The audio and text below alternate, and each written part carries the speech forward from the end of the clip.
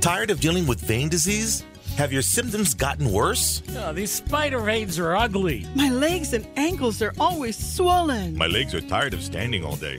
While some symptoms can be managed by lifestyle changes, other factors are out of your control. Get help from the experts at Vein Clinics of Hawaii. To learn more about your treatment options, call 427 5565 or visit veinclinicsofhawaii.com. Aloha Hawaii! It's time for the Vein Clinics of Hawaii radio show. Their team's approach to diagnosing problems and developing solutions and treatment plans are beyond compare. So let's get started with your host of the show, Mike Buck, and medical director, Dr. Randall Juleff of the Vein Clinics of Hawaii. Yep, yep, yep. And it's the veinclinicsofhawaii.com. Don't forget that little dot .com. We're going to refer you to the website often because that's where the action is. Uh, Vein Clinics of Hawaii on four islands, as you know by now. Started out on the Big Island and Osmost and got to the big city not too long ago. Dr. Randall Juleff is the medical director there. We've been talking about an awful lot of things. And one of the things that, that that I found out, and by the way, not only do I host a show for Doc, but I'm also a patient. And one of the things I found out that every single one of us is somewhere on the chart of uh, of uh, venous uh, insufficiency of some kind. Maybe a little tiny thing like a spider vein, might be a big old horrible blood clot that you got to have surgically removed. But it, it is calming to know where you're in there. And today, Doc, you, you give me another chart, and I love charts and lists because I've always wanted to know because I guess I'm a competitive person where am I in the big picture on this chart? Where Yeah. is Mike Buck in this deal? And isn't that one of the biggest things in your profession is to find out where a patient is with regards to how much of this disease do they have and how much suffering are they going through? Yeah, uh, yeah, where they where they are on the scale of severity. Yeah. Um, but also, uh, what what is the what is the reason? You know, there's there's a variety of different reasons why uh, people might have uh, vein disease, venous insufficiency, varicose veins, all that stuff. Uh, so when people come in, we uh, we we have uh, you know we have to define all of those things because uh, it, it's going to impact um, you know how we approach them. You know what are we going to do? Um, how urgently are we going to do it? Uh, you know when when do we intervene? When do we not intervene?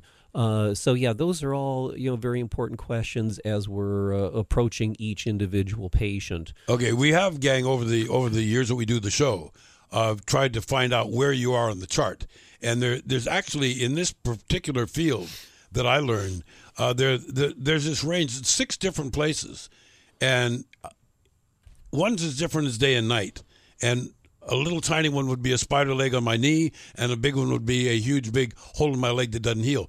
Somewhere in the middle is where we are, right? And so, Yeah. so I was uh, elated to find out where I was, only because it it sort of explains things. And number one, when you're considering your options for treatment, you also find out from the doc, in your case, how severe it is. You know where Mhm. this is, and and how do we map out a treatment program that is going to make you not suffer or make you healthier. Period. Right, right. And Yeah. you are. Simple. Yeah. Not really, but that we're saying it sounds simple. Well, well, I think you know we, we use a lot of uh, of these kind of uh, you know classification Mhm. systems in, in all types of medicine, Sure. uh, and uh, the, in the in the world of veins, we have something called the CEAP classification. CEAP. CEAP, yeah, and the one that we the the part of that that we use most often uh, is the C part of it, and that you just alluded to that. It, it's uh, you know C one through six. C1 being you know just spider veins uh, and nothing nothing other than that. Um, and at the other end of the spectrum with a lot of space in between but at the other end of the spectrum is uh, somebody with a uh, yeah non-healing ulcer of the lower extremity you know, something that we call a venous stasis ulcer. So you know most people are somewhere in between but the other, um, so we, we want to, a, pe- a person comes in, a patient comes in, we want to know where they are on that clinical spectrum because, uh, you know, that's going to uh, certainly impact how we, we're going to approach that patient. Uh, but we also need to know those other aspects of the classification system that we use, the E, A, and P part of it. So, E has to do with etiology, and, and uh, so that means, you know, why? Why do they have a problem? Uh, you know, what is it about them that made them, de- you know, develop the venous uh, disease that they have at this moment, uh, and uh, have the clinical problem? So we're going to touch on that in a second because we're going to, we're going to talk about a patient here today Mm-hmm. that uh, has an unusual uh, cause for their venous insufficiency. Okay, one one thing that I've learned, gang, is a lot of this is inherited. And from what I understand, looking through the notes that I did, this guy was almost predetermined to be doomed into having some of this stuff. Well, he was 100%. yeah, yeah. I'm just trying to be nice. Uh, yeah. Thanks, Grandma. I mean, I appreciate it a lot, Mom. In my in my case, it was my mom. Thanks, Mom. Yeah. Well, there there's there's inherited, Mm-hmm. um, and, and then there's congenital. Sure. We'll, we'll we'll touch on that in a second. Okay. Um, but uh, but he had a congenital reason, and that's why I say so. It was in his genes that he was going to Mm-hmm. develop this process, uh, and uh, it's sort of an absolute thing. The only question is how bad is it, it going to be for a patient like this? But getting back to the other two uh, parts of that classification system, the A and the P. A is anatomy, so that means um, which of the veins in our leg are having the problem? Is their disease? Is their non-function? Uh, and uh, you know uh, we've, we've talked about before there are the deep veins and the superficial veins and then each of those you know systems have uh, different branches. And part of the classifi- classification system is to you know spell out which veins are affected so Uh, which, by the way, I found out, and the, the way they're divided, my friends, is really interesting because some of them are so you can hardly even see them, and some of them are like big fought, like big pipes. Yeah. and they're all veins. Right. Yeah. Sure. Yeah. All sizes. Um, and then the P part of that is uh, what's called the uh, pathophysiology. Now that just means the, you know, the physiologic abnormality that's happening, uh, and basically it's one of two things: either there's reflux, which we talk about yeah, a lot, yeah. you know, venous reflux, uh, and uh, that has to do with uh, valve failure. You know, we've talked about that extensively, and blood going in the wrong direction. Excuse me. The other part, the other possibility is what we call obstructive, um, uh, and there can be obstructive processes within the venous system that can lead to disease. For instance, DVT. You know, if somebody, okay, if yeah, so- okay, now I get it. If somebody develops a blood clot in their vein, then that's going to cause obstruction to flow. Uh, and even if they didn't have a valve problem before, that obstruction of flow up through the vein is going to very likely in the long term, you know, create some vein functional problems. Interestingly enough, gang, if you've if you've been around the show before, you've heard this, and it, it bears a little bit of repeating, and that is because this CEAP uh, is is and this chart, this this clinical chart of one to six, uh, it, it it's different from ev- for everybody, but. But people need to know that this isn't a disease like when you cut yourself with an axe when you're chopping wood. Now you have a big problem that needs to be fixed right away. Yeah. This comes up and sneaks up on you. Sure. And all of the things that you've told me and that our listeners have learned uh, over the years that we've been doing the show is that, you know, everybody travels at a different speed, but this is the progression. And to get from one place to the other, you're not going to cure it, but you can sure slow it down. Hmm. And isn't that sort of interesting because there's no no guarantee that whatever treatment you get ever going to make the condition go away because it's not likely to go away. Uh, it's not likely to go away because of the genetic component There of you that. go. Yeah. Yeah, Um, Which so, is the guy we're going to talk about. right? Yeah, uh, well, him as well as a lot of other people. Uh, but we, if we manage it appropriately, it should not be a you know a, a, a health problem for that person, you know, going through their life. Uh, and that, but that goes back to the, uh, the, you know, that's the reason why we have to do adequate follow up. You know, you, after we even treat people, we still need to follow that patient over time. And often we encourage people to come back about every year for an ultrasound just to make sure that things are stable, make sure there's nothing new coming up. Because if they have that, if they have that genetic influence that they have a propensity to develop vein issues, then they, they might. Uh, but hopefully, if we do adequate surveillance, it'll be kept to a minimum and we can catch things early and uh, intervene uh, in a minimal sort of fashion as opposed to doing doing you know some uh, you know the bigger procedures that we often have to do. It, it, it seems to me that you know of all the medical conditions you can talk about, things like asthma, high blood pressure, cancer, stroke, all of these different things. A lot of it it's it's genetic, but Yeah. it, it seems like in in our case or in the vein case, it's prevalent. I mean that is the main reason. Yeah. Well, I, I have found that uh, yeah, for the most part, uh, the uh, the inheritance factor is very very strong. Now there are obviously uh, lifestyle th- things that also impact it for sure. You know, pregnancies and people who work on their feet, all those things. Um, so anyway, getting back to then the fourth category, the this the E part of that. Uh, we sort of skipped over that initially, but that's uh, the E part of it stands for etiology, and the uh, so the, the that's getting to the why. You know, why does this patient have venous disease? And within the within the classification uh, part of etiology, it can either be primary, secondary, or congenital. So primary uh, venous insufficiency uh, it has to do with you know that's sort of the run of mill run, run of the mill sort of uh, version of venous insufficiency. Again, it's inherited. Uh, it's uh, venous insufficiency in and of itself. It's not it's not due to any other disease process. Uh, and uh, most of these people just have uh, again inherited the propensity to have that valve failure. You know, valves valves in the veins are failing. The blood is going in the wrong direction, creating what we call re- reflux, and that then leads to not only symptoms but problems with their legs as it uh, you know goes on. Uh, so uh, so that's an inherited uh, type uh, of the disease process, but not really the gen- you know, specifically specific genetic problems, which we're going to talk about in a second. The other um, the other category subcategory within etiology is secondary.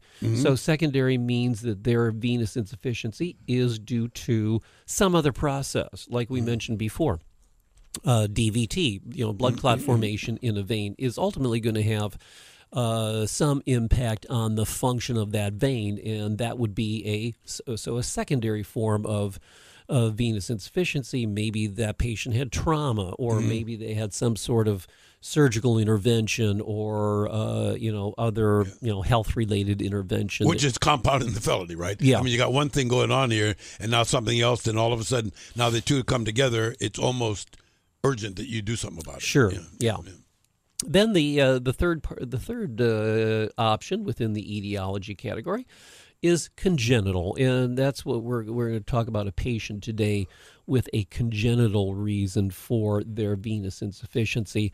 Um, it's the least common. You know, we see mo- most of the patients that we see uh, have a uh, primary etiology. You know, they have uh, primary valve failure and uh, re- related venous insufficiency. A smaller number have secondary. They've had you know blood clots or whatever, and that's the uh, cause for their or the reason that they have then gone on to develop uh, vein problems. Uh, the congenital part is, uh, you know, probably just a few, a couple percentage points of of the people, maybe not even that much. Small percentage. Yeah, it's a very small percent. Uh, and these people are people that are born with a genetic defect that is the cause or the reason for them developing ultimately their venous insufficiency. Um, and uh, you know, there's a there's a good number of different forms of this, and they're all fairly specific. Uh, we're going to talk about one of them today.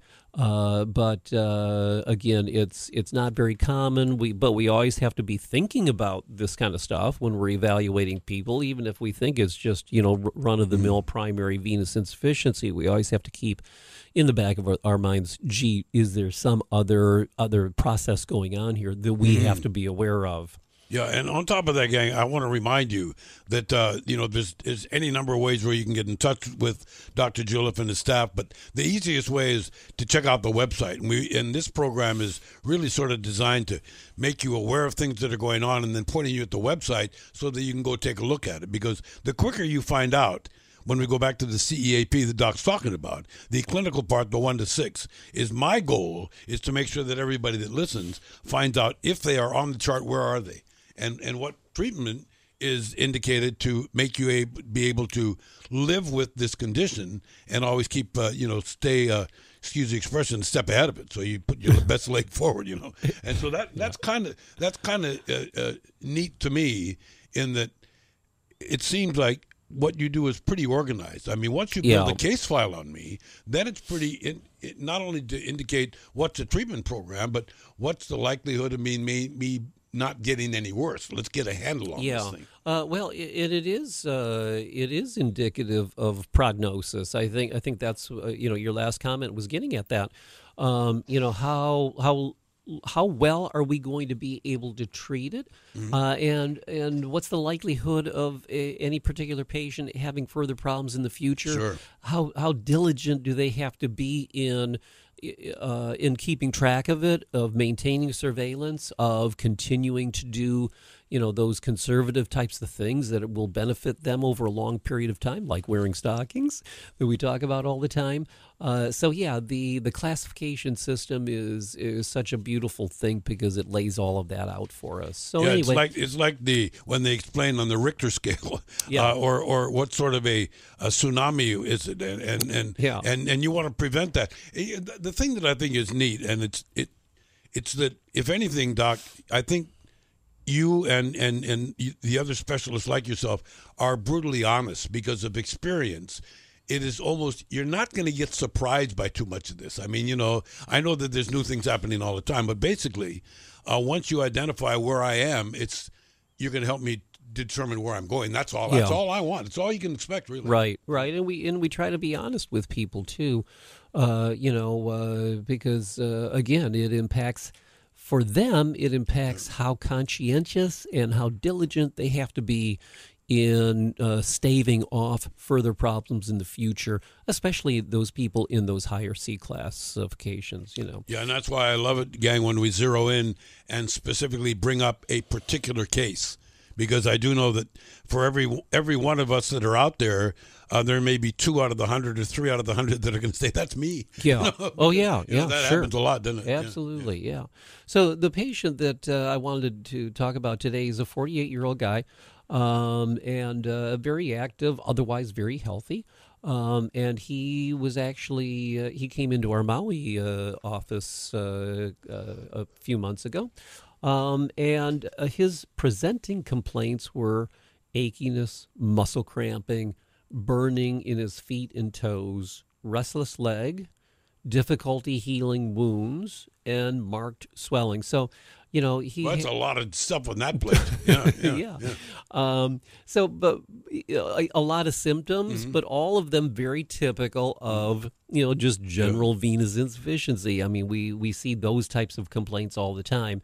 Uh, he because of the fact that he ha- stated that he had had you know some injuries to his leg that created little wounds here Mm. and there over you know the last several years that he found difficult to heal. Mm-hmm. Uh, that immediately kind of you know throws up some red flags. You know, we're dealing with probably a little more advanced uh, set of circumstances here that need uh, you know immediate attention. Uh, but in addition to those symptoms, uh, he also had very extensive varicose veins throughout his entire right leg um, and uh, and a fair, um, a, a- pretty substantial amount of swelling throughout his right leg.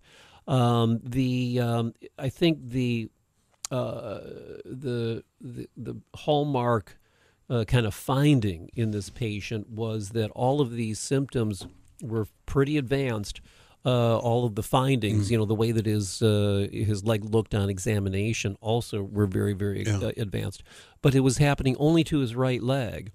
Um, his left leg looked perfectly normal. Isn't that? I mean, Yeah. it's not like me. I got both legs. I mean, Right. Well- neither neither are really normal. Yeah, yeah. Uh, and, and most people are like that. Yeah, yeah. Most people with, again, garden variety venous insufficiency, uh, usually they're going to have it in both legs. And uh, it's surprisingly symmetrical, although it's not uncommon for one leg Mm. to be a little worse than the other. Typically, it's because one leg is a little further along in the timeline of the whole process.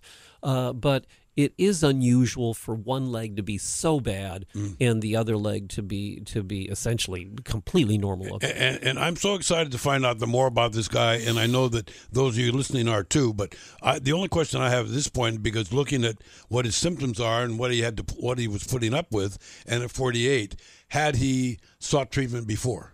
No, he had That's not. a, that's what I'm amazed at. Yeah. Look at how much this guy suffered for so long in little bits and starts that had he had the ability to find out 10 years before his his ability to enjoy eh, but anyway the, the point is better late than never Yeah. so, so Well, better at, late at, than never. at 48 this guy looks comes in and you say here's a here's a guy we got a lot a lot that we can help him with Yeah, and and especially in in this this patient in particular, you know, had it been addressed, you know, twenty years prior, which it could have been. Yeah.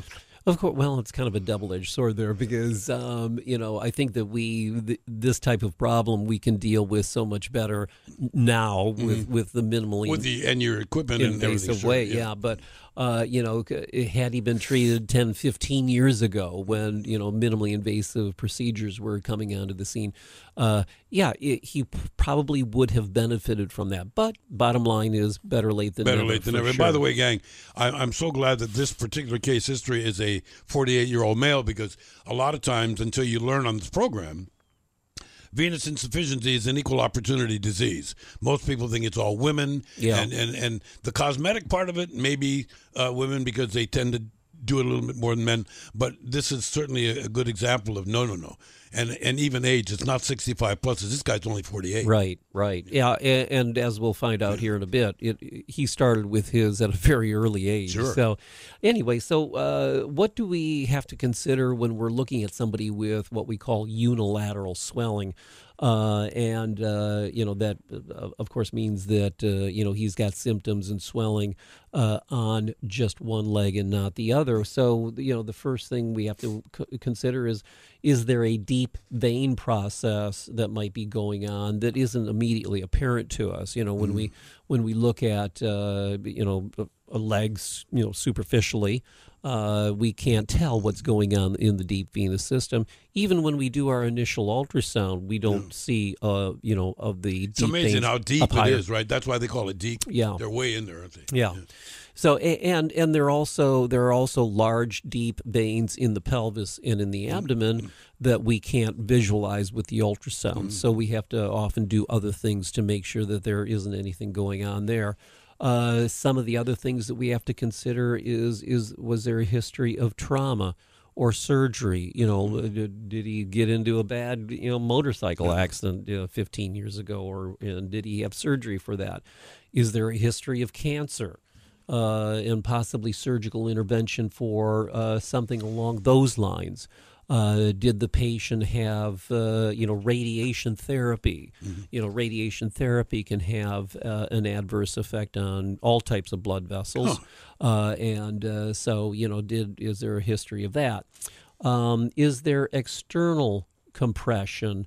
on a um, on a vein again that might be higher in the body that we can't uh, see and we don't necessarily you know visualize with ultrasound. So there's you know a number of different things that we have to consider when we're looking at um, somebody with swelling and symptoms in only one leg. Then there are other you know vascular type abnormalities. There's something called May Thurner syndrome. We've talked about that before. Wait a minute, I got to add that to my list. You you, you say we talked about it before. My memory's not clicking in on that one. What's Yeah. that? Well, May Thurner is uh, a situation where a uh, an artery higher up in the body, in the pelvis, An artery, not a vein. An artery. well, an artery is uh, compressing the vein. oh, okay, okay. and uh, can cause a fair amount of obstruction to that vein. Uh, and that's one of those obstructive reasons Okay. for somebody to have, uh, you know, vein disease. Uh, so we have to, you know, that's one of the things that we think about uh, when we uh, when we're looking at somebody with swelling in one leg. Now, May Thurner itself tends to affect the left leg more so than the right. This guy's le- right leg was swollen, so we're, we're, we're probably not really concerned about uh, May Thurner. But uh, so anyway, we th- those are all the things we have to consider. Uh, and usually there are other clues that you know kind of help us hone in on what's going on uh, with any one particular patient. Uh, in this guy, some of the other clues that we were presented with were the very, very early onset of his varicose veins. Um, he started to have varicose veins in high school, you know, so mid teenager years, uh, which is unusual, but is it unheard of to have uh, sort of, you know, just primary run of the mill venous insufficiency? In a young guy that age. Um, no, it's not unheard of. No. You know, we have a handful of patients, uh, you know, young men, 15, 16, 17, that have had pretty substantial varicose veins Mm-hmm. that we have treated. Uh, again, it's unusual, but it's not unheard of. So, Hey, by the way, I had had one of these things a long time ago, uh, and it was right around you know high school or college time. It was about as big around as a half a dollar. Remember those things? You used to have things called half a dollars. What happened to the fifty cent piece? Don't see them around oh, anymore. Anyway, it's all quarters. Anyway, this is about as big as a half a dollar. It's gone now. Can't ever tell it was it was there, but it was there for many many years. And I learned from Dr. Juleff that the reason why that was there was that was one of the things that I inherited. And it, it really never manifested in any pain or any discomfort, but it certainly was something that I could see. Uh, and and it, it showed us, didn't it, that there were things going on underneath there that needed treatment, and it was just sort of your body saying, "Hey, look at this. You got to go have this looked at because this is not this is quote not normal." yeah, right. A little, a little So, sign. so this guy put up with a lot of stuff. Uh, did, Yeah. Did, did he understand, or did he explain, or did he think that some of it might have been from mom or dad or whatever? Did did my whole family has leg issues or pain issues like that? Well, in him, it was a little different because he did not have a substantial family history of venous insufficiency. wow, wow. So, um, and, and I- I'm, I'm glad you asked that question because that was another, you know, kind of clue Yeah, yeah. to what was going on here. He he didn't so so he probably didn't have. Uh, again, run of the mill primary venous insufficiency. And, and getting back to the young teenage boys that we have treated in the past that have had varicose veins, uh, which you know typically that's unusual. But those those patients, uh, those young men, uh, typically had problems in both legs. And t- typically, in a young young person, you know, either male or female, if they develop varicose veins at a very young age, like high school age, uh, typically those people have a very very strong hi- family history uh, of uh, venous insufficiency. Probably both sides of their family, b- you know, both mother and father have that genetic component. Uh, and again, this guy did not have any of that. So uh, another thing was that uh, at a pretty young age, again probably high school age, he began noticing that his right leg was bigger than the left leg. So uh, not only was it bigger, you know, in girth, uh, you know, and it, but it was also a little longer. Now it wasn't long, uh, you know, to the These, extent. that- these are things, by the way, that you keep track of and that you measure because that's what we've been doing on my legs. Mm-hmm. So, and, and and am I right to assume that sometimes the patients have no idea that one's bigger than the other? That just that's just my legs. uh, you, you know, a lot of times they just, yeah, Yeah. kind of grow used to it and Yeah. don't really, uh, you know, put a lot of importance on Until it. somebody says, "Hey, that leg's pretty big, isn't it?" Yeah, You know, does sure. that happen? Some- yeah, oh, I'm sure it does. Yeah, Yeah. Um, so you know, as as he and as he got older, um, he noticed that that you know continued that Mm-hmm. pattern continued where the right leg was was bigger, and it wasn't only just swelling. Uh, it was it was you know the the leg itself, the musculature, the soft tissue, the you know the bony structure obviously was uh, bigger if it was, if the leg was longer. Um, so, and then the other thing was that at a very young age, he noticed having a birthmark on the right leg. And then, uh, you know, then I when I was talking to him, I said, "Well, you know, did your when you were young, did your mother say, yeah, you had that since birth and that kind of Yeah. thing?" And and he did. So this was a uh, you know a, a dark purplish kind of you know uh, Thing. discoloration Yeah, yeah, yeah. on his leg that you know typically people uh, refer to as a birthmark. It didn't go away. It got a little bigger with time, uh, and uh, Are they ever dangerous? They can be, yes. Is that right? You yeah. get infected or something? Uh, well, not not necessarily infection, but yeah, they're they're well in in this scenario. Uh, it can. Uh, well, we'll talk about what happens in this scenario, but I'm getting but- ahead of myself here. Yeah, the uh, well, that birthmark basically is a vascular, what we call a vascular malformation. Um, that birthmark, even though it looks like it's just a discolored area to the skin, it's actually an abnormality of the development of the uh, you know, blood vessel of whatever type, whether it's a vein or capillary or art- artery, whatever. But uh, you know, it's an abnormal development of the vasculature of the skin in the area beneath the Gotcha. skin.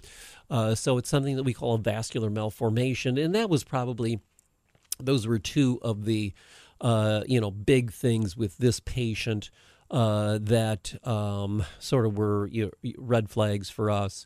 Uh, the fact that he, the, his venous insufficiency and vein problems were so uh, early start uh, uh, starting uh, that one leg was bigger, and also this uh, birthmark or this vascular malformation.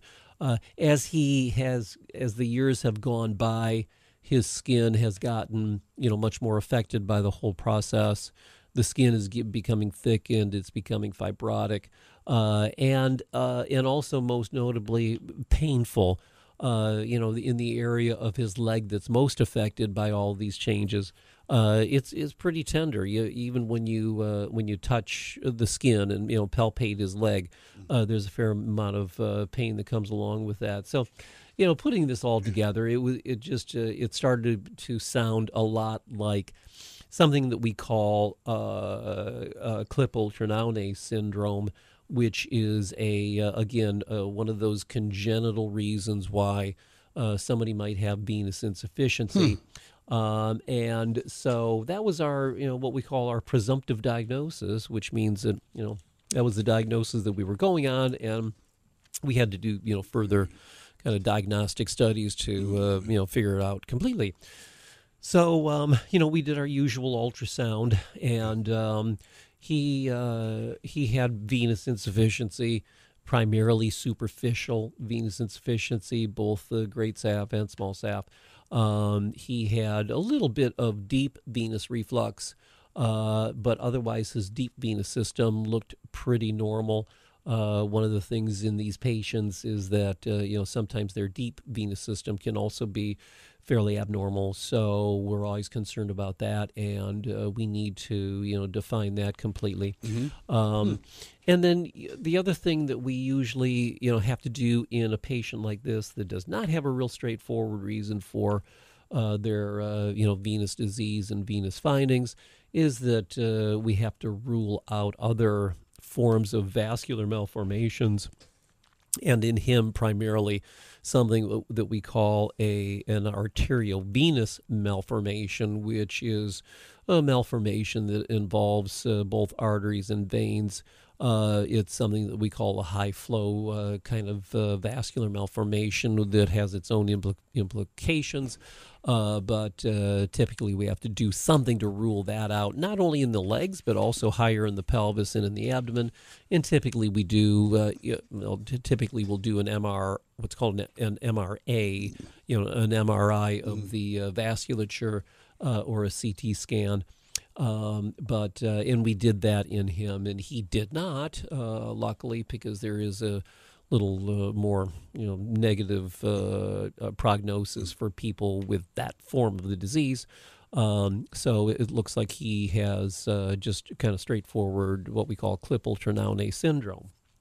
You know, let me ask you this. I think this is important because a lot of times, if you break a leg, you go to the doctor, they take an x ray, they, they see what the deal is, they set the leg, and out you go, and it heals. It seems to me that in your chosen field, that there is a tremendous amount of investigative work and deduction and testing that goes on before you discover a treatment. I mean, when somebody's got a, a broken leg, the treatment is put this puppy in Yeah, a cast. right. But, but it, it looks to me like this is a something that I, I think that if you go to veinclinicsofhawaii.com, by the way, you'll see some of this. You really need to visit the website because that's what we want you to do after you listen to this program.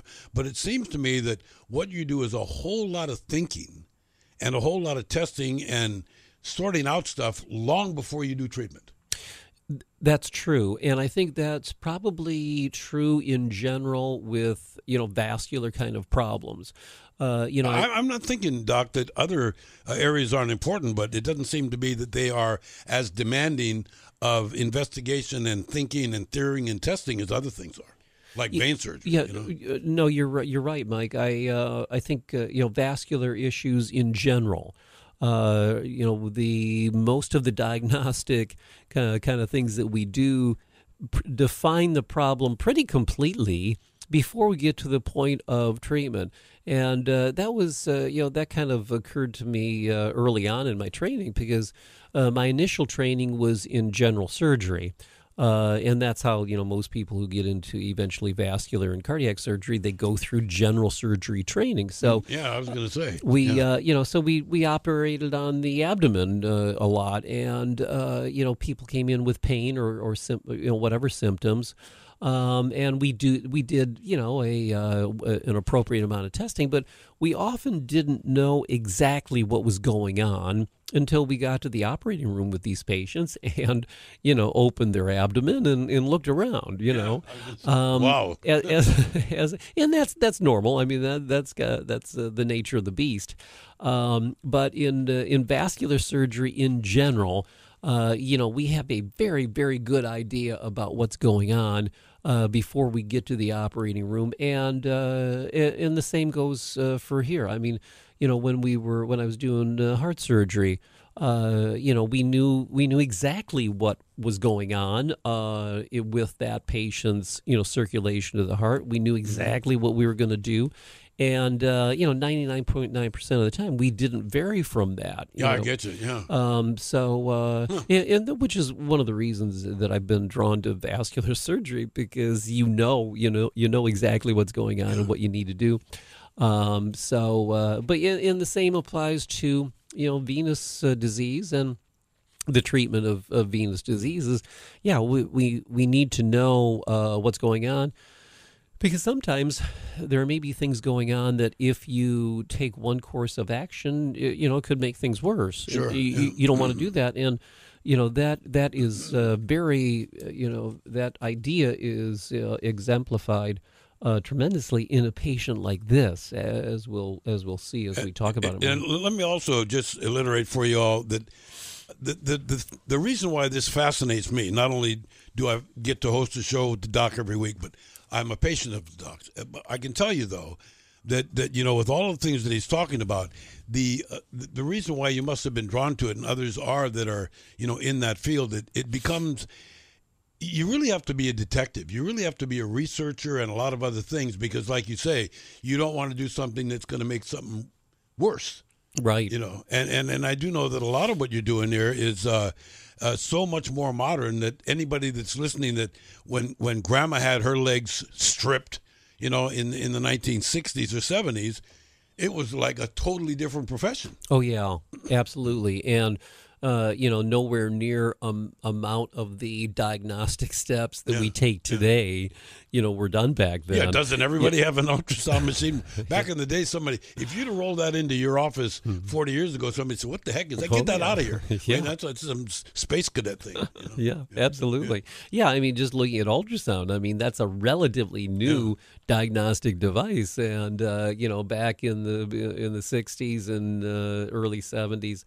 Uh, you know, we didn't have that, and there were all sorts of different things that we had to do to, and sometimes not even um, defining exactly what the problem was, but you know, we were getting diagnostic tests that just kind of inferred, you know, that this was the problem. Now you can just, see it You just kind of have to Yeah, go with it. Yeah. So, what is Klippel-Trenaunay syndrome? So, sometimes it's referred to as angio-osteohypertrophy. Oh, jeez. Um, I'm, I'm not even going to try to write that, that down. three times. And, and don't don't drink a beer and say that three times. It won't happen. Yeah. And that basically that just um, you know refers to the fact that uh, you know there is a vascular problem, there is a uh, muscular and soft tissue problem, and uh, it, hypertrophy implies that there is enlargement of that extremity. But uh, this was first described uh, around the turn of the century.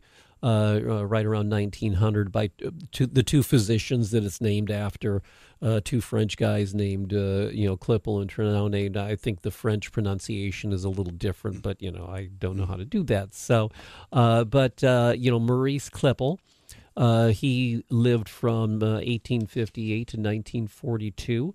Uh, and uh, he was a fairly well-known French physician, as well as uh, his partner Trenaunay, that helped define this. But they both, uh, you know, worked as physicians in Paris and apparently had, uh, a, you know, a, yeah. a, small number of patients that they found this same pattern of of process going yeah. on, uh, which basically it's you know the the trio of things that we see are you know pronounced uh, venous problems like varicose veins, mm.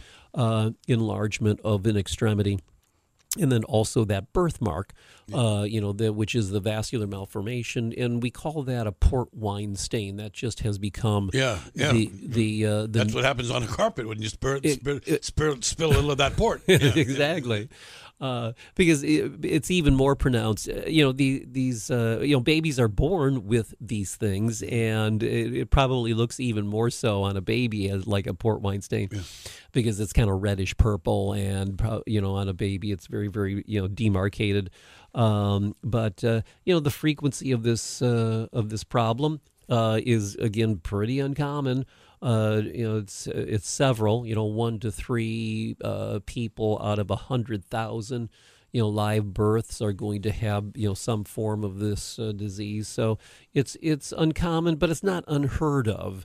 Uh, and you know, one of the reasons that. Um, you know, I wanted to talk about this is because it isn't unheard of. Uh, we had, uh, again, this patient that came into our Maui office. We had another patient uh, with similar kind of problems, also has uh, the diagnosis of KTS. Um, and that patient was in, in, our Big Island office. So, uh, and, and th- that was just over the course of the last, uh, you know, six to eight months. So I'm sure there are plenty of people out there that maybe have not been diagnosed yet. Uh, and uh, so I like to talk about things that you know people can become aware of and you know say gee yeah that does sound like me and maybe i need to have it looked into. You know what i'm thinking of here in the background as you as you're explaining this? Yeah. Those two french guys sitting in their garage coming up with stuff. You yeah. know because isn't it really and this is why people get things named after them that this becomes something that you use on a regular basis? Yeah. Thank goodness that they came together and said hey you know what? This doesn't look right. Let's think about this. And yeah. they came up with a whole new study uh, absolutely, and this is you know this happened around the you know the nineteen well around nineteen hundred. So uh, you know we didn't we getting getting back to you know diagnosis. Uh, you know, in, 1900, we had none of that. No. You know, we didn't even 120 have, years ago. Yeah, we really. did. We had we yeah. didn't have you know angiography or ultrasound yeah. or anything. So, uh, yeah, it's pretty amazing uh, when they had leeches in a bottle. So yeah, oh, brother. Oh my! Oh, yeah. So anyway, so yeah, this this arises from a congenital defect, and, and when we say congenital, we mean a genetic thing that uh, is present at birth. Uh, and uh, it's the the genetics are not completely defined. However, there are genetic markers uh, that uh, will indicate whether a patient has this or not. But it has to do with you know a gene injury, a, you know an injury to specific genes at some point along the way. You know this and this happens obviously before birth, so it's either a mutation. You know, there's some alteration of a gene or an injury to a gene or something called gene translocation, but there's, you know, something, an abnormality of that specific patient's genetic code that uh, arises, you know, prior to birth and results in, you know, this trio of things happening, which in in some people can be extremely severe. Were were you able to, and once again going back to our patient, were you able to explain this? I mean, is this something that, as as it became apparent to you what this guy's condition was, that it's something that he should probably know? I oh mean, yeah, you know, you yeah, gotta, you know, yeah. and and and and I'm wondering if there's a relief factor that kicks in when somebody says, "Geez, I don't know what you know." Thank goodness you found this because I had no clue. Yeah, yeah, I the I think that was the yeah, case uh, because yeah, the the first time I saw this guy, I I had uh, you know the inclination that something like this was going on. Um, and I talked to him about it. I said, "Yeah, you know, you, unfortunately, you don't have a straightforward sort of thing." Uh, and and I think yeah, there is a little bit of relief there because he knows now what's going on, uh, and and we now can contend with it. sure, You know, we can make things as good as we possibly can. Um, uh, it's a you know I think he was a little discouraged in that you know the more I talked about it, the more it became apparent that this is not a straightforward Yeah. thing, and it's something that he's probably going to have to deal with the rest of his life. Uh, not probably, he Yeah, yeah, is going to have to deal with this the Yeah, rest of his same life. same as me. And gang, there's another thing I want to tell you, and this comes up every now and again. And because of time, I mean, we have a lot of more things we're trying to cover today. But I want to tell you that, uh, unlike other conditions or other diseases, what what doc is doing is not searching for the right medication or the pill for you, because a lot of what you do is in in your area of expertise, doc, is is surgery. I mean, you know, there are certain things. There are no. Here's a vein pill. You know, Yeah, and no. I, you know, I mean, maybe someday there will be, and I, I know there's probably guys in sitting in their garages trying to come up with that stuff. But Yeah. but in actual fact, what it takes is a a a trained physician to deal with with this condition rather than a pill. Or, Yeah. or a potion or a cream. Well, it's with most venous disease, it's a mechanical problem. Yeah, That's what it boils down to. And So uh, you need a mechanic. There you are. yeah, you're, my, you're my leg mechanic. I'm just a plumber. Yeah, yeah, Uh, yeah. but yeah, you you need a mechanical remedy, and that's typically more than just a pill. Absolutely. So, uh, anyways, uh, so this the the the vascular malformation that we've been talking about is uh, something that we call a, a low flow vascular malformation. And uh, low flow has to do with the fact of what it's made, what this you know vascular malformation is made up of. In and in uh, Klippel-Trenaunay syndrome, typically it's a capillary kind of thing. So it's a it's an overgrowth of capillaries. You know, capillaries are those very very very tiny blood vessels that kind of connect the arteries with the veins you know arteries uh, bring blood you know from the heart to our body. And uh, you know when it gets to the end of the road sort of thing uh, it you know releases oxygen. And after it has after those red blood cells have released ox- oxygen they go through the capillary system which is the uh, tiny, tiny little you know roadways that get the blood then back into the venous system, and so it can be transported back to the heart. So uh, you know we're talking about very, very tiny little capillaries, and when they when they they become overgrown, uh, you know more dense. Uh, and uh, probably a little enlarged. That's then when we see that port wine stain. So, Okay. you know the the the uh, in this situation now there are other birthmarks that that have do have to do with you know pigmentation of the skin Right. but that's not this this is a, uh, a va- there's a vascular reason why we have that uh, you know uh, abnormal you know uh, coloring of the skin You- You know what happens if somebody says, you know, I've always been meaning to get rid of that thing.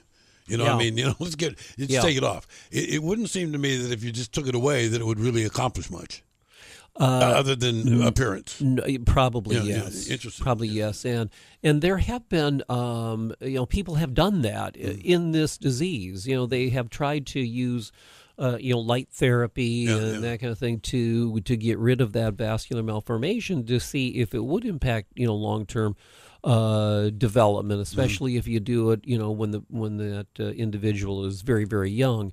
Uh, and there just there hasn't been a good result from that, unfortunately. No. Um, so yeah, it's more, and that goes to the fact that it's more than just a you know a cosmetic thing. There's a Mm-hmm. Yeah, lot more yeah. going on here than just the uh, you know the birthmark that they have.